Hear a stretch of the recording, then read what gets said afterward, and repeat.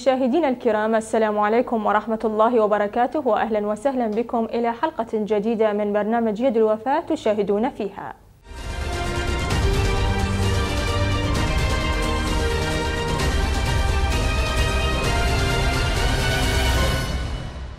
في جولة ميدانية نائب رئيس المؤسسة يزور مديرية شهداء صلاح الدين ومكتب شهداء الدجيل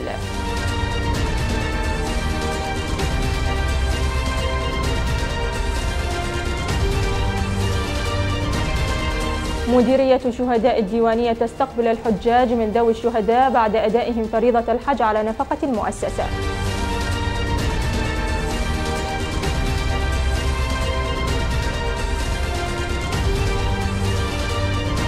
مديرية شهداء ديالى تقيم احتفالية لتكريم أبطال القوات المسلحة والحشد الشعبي وتزور المقاتلين في الخطوط الأمامية.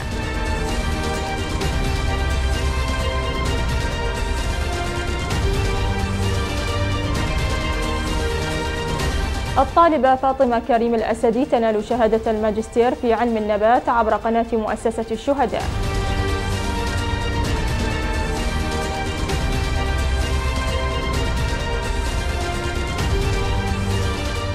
وفي زاوية أخبار مؤسسة الشهداء نتابع. رئيسة مؤسسة الشهداء تهنئ ذوي الشهداء والعاملين في المؤسسة ومديرياتها بمناسبة عيد الأضحى المبارك. وتؤكد الحرص على تنفيذ فقرات قانون المؤسسة خدمة لذوي الشهداء.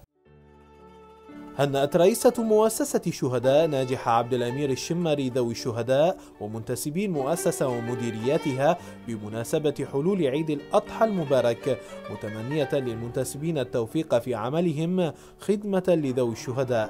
الشمري وفي حفل التهنئة الذي أقامته مؤسسة الشهداء بالمناسبة أكدت الحرص على تنفيذ فقرات قانون المؤسسة بما يتيح لهم تقديم أفضل الخدمات إلى ذوي الشهداء. مشددة على ضرورة تجاوز الحلقات الروتينية في التعامل مع ذوي الشهداء من أجل إيصال جميع الحقوق والامتيازات إليهم.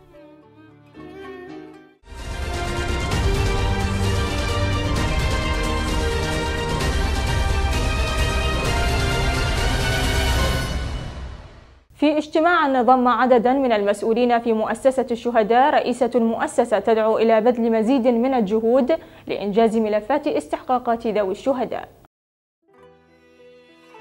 دعت رئيسة مؤسسة الشهداء ناجحة عبد الأمير الشمري العاملين في المؤسسة إلى بذل مزيد من الجهود من أجل إنجاز ملفات استحقاقات ذوي الشهداء. الشمري ولدى ترأسها اجتماعا ضم نائب رئيس المؤسسة كاظم عويد والمفتش العام حيدر الشحماني وعددا من المديرين العامين في المؤسسة. قالت إن اقتراب مؤسسة الشهداء من حسم بعض الملفات المتعلقة بحقوق وامتيازات ذوي الشهداء يلقي على العاملين في المؤسسة مسؤولية مضاعفة لحسم الملفات الأخرى باستثناء ملفات الحقوق والامتيازات التي تستمر ما دامت المؤسسة موجودة كملف الرواتب التقاعدية لذوي الشهداء مشيدة بالإنجازات التي حققتها المؤسسة في خدمة ذوي الشهداء. تقديرا لتضحياتهم في حقبة الدكتاتورية.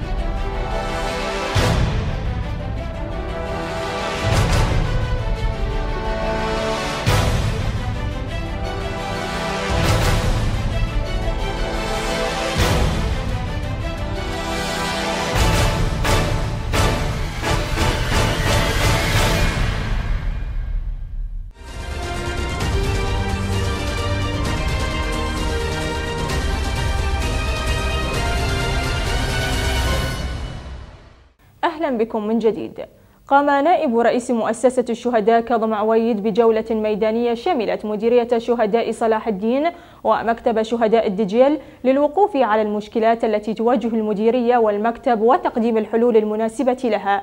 التفاصيل في سياق هذا التقرير. في إطار الجولات الميدانية التي يقوم بها المسؤولون في المؤسسة إلى مديريات الشهداء زار نائب رئيس مؤسسة الشهداء كاظم عويد مديرية شهداء صلاح الدين للاطلاع على شؤون المديرية خصوصا بعدما تعرضت له محافظة صلاح الدين من هجمة إرهابية شنتها عصابات داعش ومن يقف خلفها من أذناب البعث المهزوم. نائب رئيس المؤسسة أشاد ببطولات منتسبي المديرية وأبناء مدينتي بلد والدجال في التصدي إلى عصابات داعش الإرهابية وبطولات مقاتلي القوات المسلحة والحشد الشعبي في المدينتين. تأتي زيارتنا إلى مديرية شهداء آه، بلد أو مديرية شهداء صلاح الدين آه، تتم الزيارات التي نقوم بها للاطلاع على واقع آه، عمل المديريات. إضافة إلى أنه مديرية شهداء بلد تحظى ب موضوع أهم وأولوية مهمة جدا باعتبارها تقع ضمن المناطق الساخنة.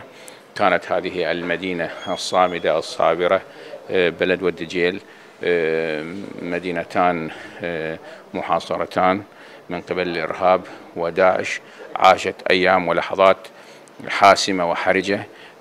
كان من المفترض أن نكون قبل هذا التاريخ موجودين ونقف مع هذه المديرية. الحمد لله استطاعت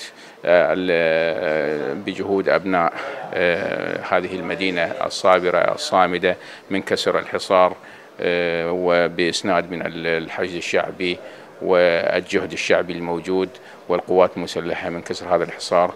وكان لهذه المديرية أيضا دور فعال في الحشد الشعبي.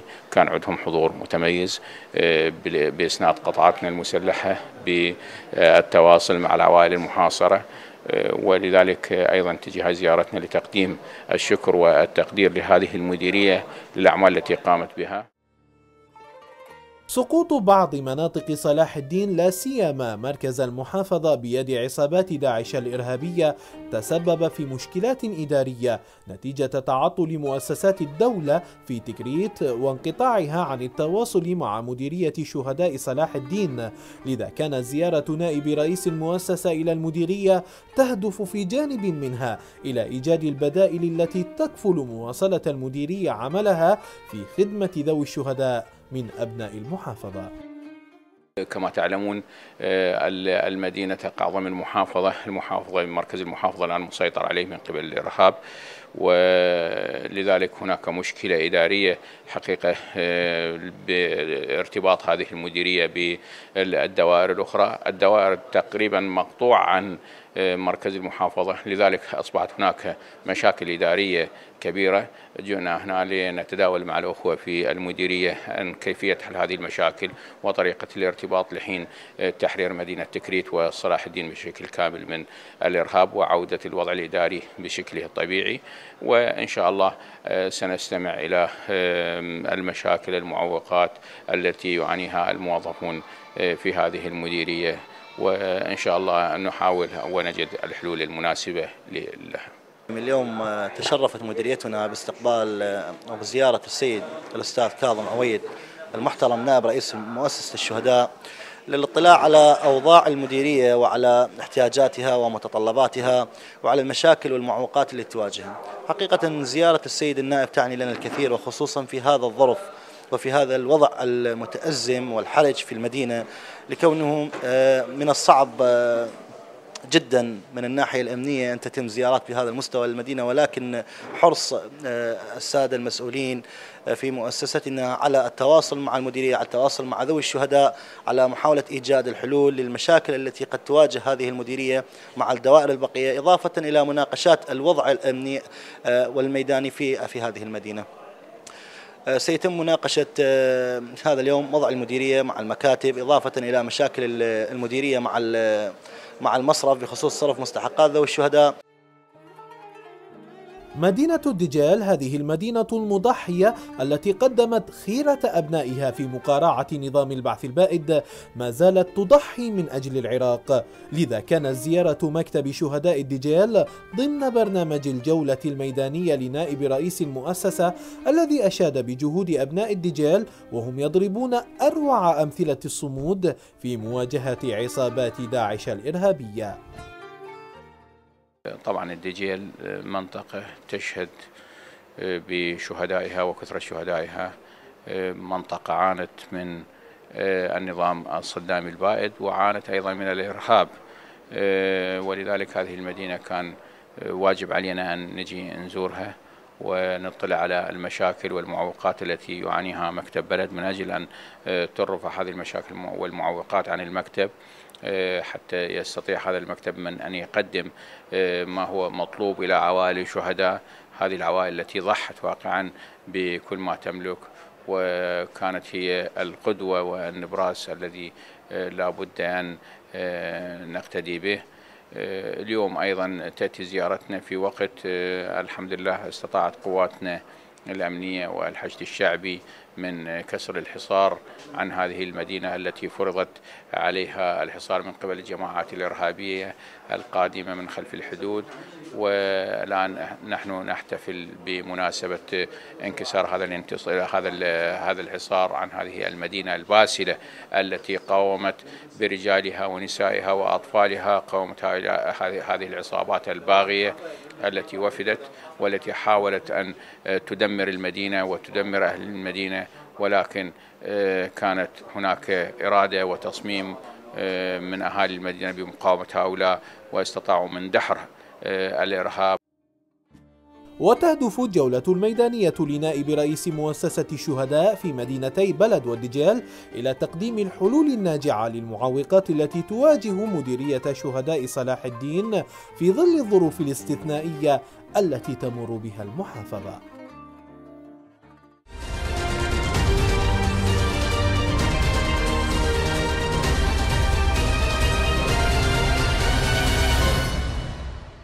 بحفاوة كبيرة استقبلت مديرية شهداء الديوانية الحجاج من ذوي الشهداء العائدين إلى أرض الوطن بعد أدائهم فريضة الحج على نفقة مؤسسة الشهداء تقديرا لتضحياتهم ووفاء لدماء الشهداء.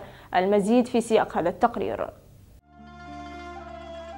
للعام الثامن على التوالي نجحت مؤسسة الشهداء في إرسال ذوي الشهداء إلى الديار المقدسة لأداء فريضة الحج على نفقتها الخاصة.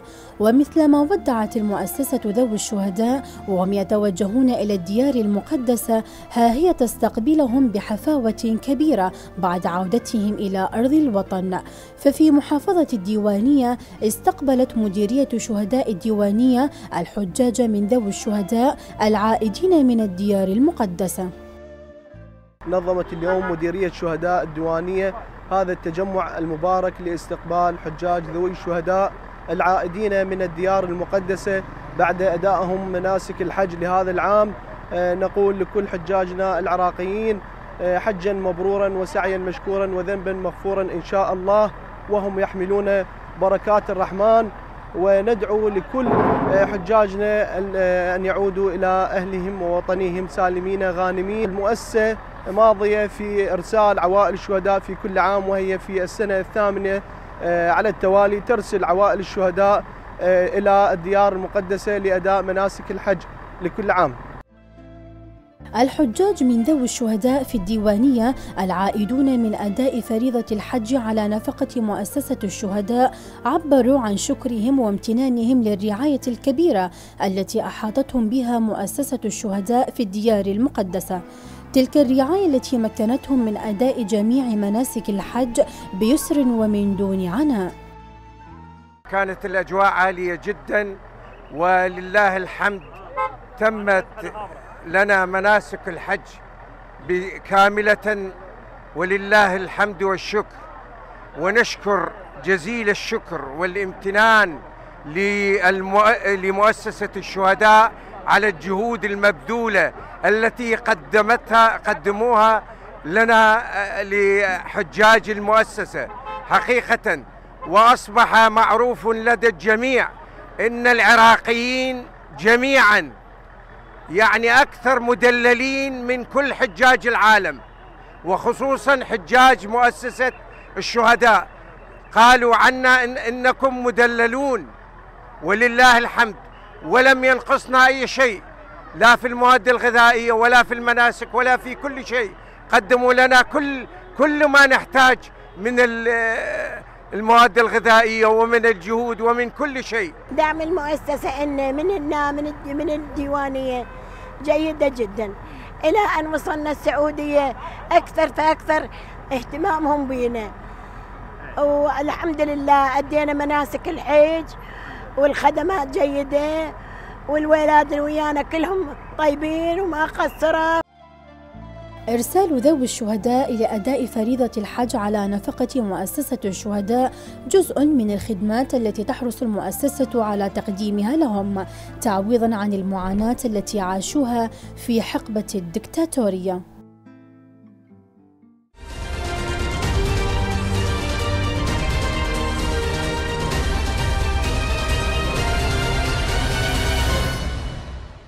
أقامت مديرية شهداء ديالى احتفالية لتكريم أبطال القوات المسلحة والحشد الشعبي كما نظم زيارة إلى المقاتلين الرابضين في خطوط القتال الأمامية لتهنئتهم بمناسبة عيد الأضحى المبارك. لنتابع هذا التقرير. حين تعرض أمن الوطن إلى خطر الإرهاب هب العراقيون ممثلين بالقوات المسلحة الباسلة وفصائل الحشد الشعبي لتلبية نداء المرجعية الدينية العليا للذود عن العراق وصد هجمات عصابات داعش الإرهابية ومن تحالف معها. مؤسسة الشهداء التي كان لمنتسبيها شرف المشاركة في تطهير عدد من المدن من رجس داعش. كانت سباقة للاحتفاء بالمنتصرين وكانت مديرية شهداء ديالا في مقدمة المديريات في هذا المجال إذ أقامت احتفالية لتكريم أبناء القوات المسلحة ومقاتلي الحشد الشعبي الذين ساهموا في حماية ديالا مثلما كان لهم قصب السابق في تحرير آمرلي من قبضة إرهاب داعش.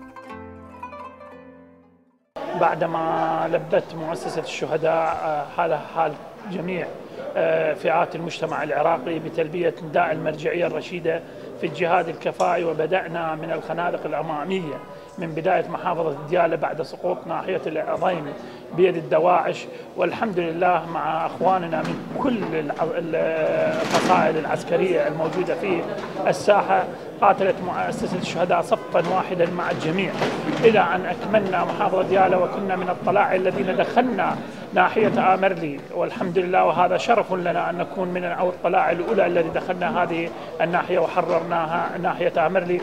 والآن قطعاتنا الأمامية اندفعت باتجاه محافظة صلاح الدين وكركوك لتطهيرها.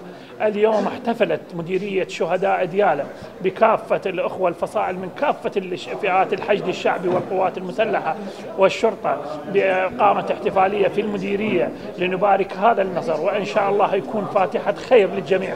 وإن شاء الله يوم التحرير العظيم لمحافظة الموصل وصلاح الدين. وأن لا يبقى شبرا واحدا من أراضينا بيد داعش. ونحن على سائرون على ما سار عليه آبائنا الشهداء. إن شاء الله دماءنا تكون تكون رخيصة في سبيل أرض الوطن. هذه الفصائل التي حقيقة قدمت تضحيات كبيرة في الذود عن جميع مقدسات العراق ودافعت عن جميع أراضي محافظة ديالى ولبت نداء المرجعية منذ اليوم الأول. لا يسعنا إلا أن نتقدم لهم بالشكر والامتنان. وبهذا اليوم قمنا مع التنسيق بالتنسيق مع مؤسسة الشهداء آه، محافظة ديالى بتكريم هذه الفصائل آه، اعترافا منا بالفضل الكبير وجزءا من الوفاء الذي بذلوه لنصرة البلد ولتطهير أراضي محافظة ديالى وفيما يخص تطهير محافظة ديالى حقيقة كان الدور الكبير لهذه الفصائل وللحشد الشعبي في مساندة الأجهزة الأمنية. ولا يجب أن لا نبخس حق طيران الجيش والقوة الجوية التي قدمت الإسناد الكبير والدعم اللامحدود لهذه القطاعات أثناء تحرير المناطق. مديرية شهداء ديالا وبمشاركة الحكومة المحلية في ديالا انتهزت مناسبة عيد الأضحى المبارك لزيارة أبطال القوات المسلحة ومتطوعي الحشد الشعبي في خطوط القتال الأمامية للتهنئة بالعيد ولقاء المقاتلين لتشد من أزرهم وتبارك لهم جهودهم التي أثمرت تحرير جميع مناطق ديالا. تلبية لنداء المرجعية الرشيدة بالجهاد الكفاية قامت مؤسسة الشهداء في محافظة ديالى بدعم القوات الأمنية المتواجدة في قواطع عمليات محافظة ديالى منذ الأيام الأولى للهجوم اللي تم من قبل داعش. والحمد لله الآن نرى الانتصارات متوالية على داعش وتم تقريب تطهير كافة أنحاء محافظة ديالى. والآن نرى الأخوة من الحشد الشعبي من فوج أحد الشهداء وهو باسم الشهيد كاظم عبد السادة. الذي تم تسميته على هذا الشهيد من محافظة السماء وعلى حدود محافظة صلاح الدين. الآن نحن على السواتر الأمامية اللي مع صلاح الدين. وإن شاء الله عن قريب يتم تحرير كافة أراضي العراق بهمة المجاهدين الغيارة من كل العراق. مقاتلو الحشد الشعبي المتواجدون في الخنادق الأمامية أشادوا بجهود مديرية شهداء ديالا والحكومة المحلية في المحافظة للدعم المتواصل الذي تقدمه لهم مجددين العهد للشهداء بالسير على نهجهم في الذود عن العراق أرضا وشعبا. نحن فوج الشهيد كاظم عبد السالم محافظة المثنى أتينا للجهاد في أراضي ديالة والحمد لله والشكر قمنا بالواجب المقدس الذي كلفنا به من قبل المرجعية الرشيدة حسب الفتوى. الفتوى المرجعية الرشيدة ونحن بدورنا رجال هذا الفوج ورجال محافظة المثنى نشكر مؤسسة الشهداء ونشكر السيد قام مقام الخالص لهذه الرعاية الفذة من قبلهم لجماعة الحشد الشعبي ولجماهير المجاهدين في هذه المحافظة العريقة وهي محافظة ديالى وتمثل مبادرة مديرية شهداء ديالا في تكريم أبناء القوات المسلحة والحشد الشعبي استكمالا لجهود مؤسسة الشهداء في دعم وإسناد أبطال قواتنا المسلحة في التصدي إلى عصابات داعش الإرهابية ومن يقف وراءها من بقايا البعث المحظور.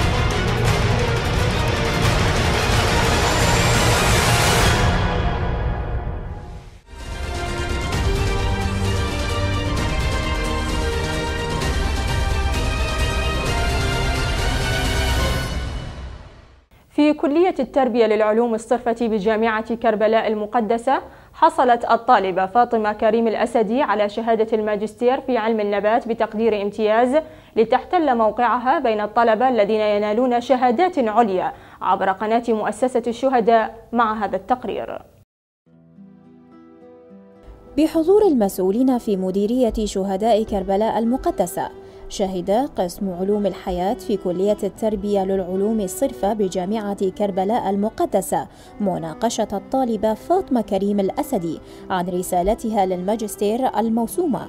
تأثير السماد الورقي في النمو والحاصل والحالة الغذائية لبعض أصناف الحنطة. لجنة المناقشة قررت بعد مناقشة امتدت لساعات منح الطالبة شهادة الماجستير في علم النبات بتقدير امتياز. اليوم لجنة مناقشة طالبة الماجستير السيدة فاطمة كريم خضير الأسدي والتي هي من ذوي الشهداء في دفاعها عن رسالتها الخاصة بتأثر مجموعة من أصناف الحنطة ببعض المغذيات الورقية وانعكاس ذلك على الحاصل ومكوناته. وقد تمت هذه الدراسة في جامعة كربلاء المقدسة وفي كلية التربية للعلوم الصرفة. وبإشراف الأستاذ الدكتور عبد العون الغانمي. والحقيقة كانت رسالة مميزة عكست قدرة الطالبة وإمكانياتها في تنفيذ البحث وفي كتابة الرسالة وفي الدفاع عن رسالتها. وكانت الرسالة مميزة وغنية بكثير من الحقائق والاستنتاجات المهمة والتي تضيف إلى حقل المعرفة في مجال فهم وظيفة النبات وعلاقة ذلك بالمغذيات وعلاقتها بالنمو والحاصل وبالمجموع الجذري. كانت الرسالة كبيرة في أهدافها وفي محتواها وفي حجمها أيضا وفي الدراسة وفي الصفات التي قاستها.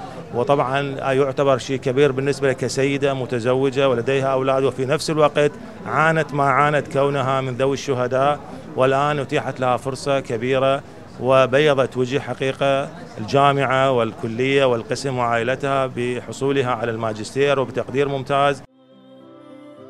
الباحثة فاطمة كريم الأسدي ثمنت موقف مؤسسة الشهداء في دعم الطلبة من ذوي الشهداء والوقوف إلى جانبهم لينالوا الشهادات العليا مستذكرة حرمانها من إكمال دراستها العليا في حقبة حكم نظام البعث البائد جهدي جهد هذا اللي آه، تعبت يلا حصلت عليه إلى ذوي الشهداء آه، أه يعني أهلي اخويا وذوي الشهداء الباقين. وأني أشكر طبعا المؤسسه بدورها إنه دعمتني وهي اللي إعطتنا فرصة إنه حتى أكمل.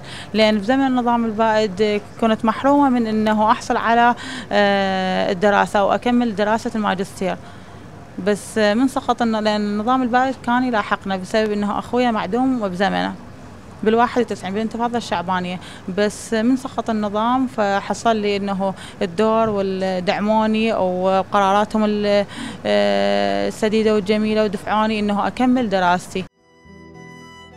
وإذ تمنح المؤسسة المتفوقين من ذوي الشهداء فرصة مواصلة دراساتهم العليا فإنما لتؤكد قدرة ذوي الشهداء على نيل الشهادات العليا بعد أن ظلوا محرومين من هذا الحق في حقبة الدكتاتورية البغيضة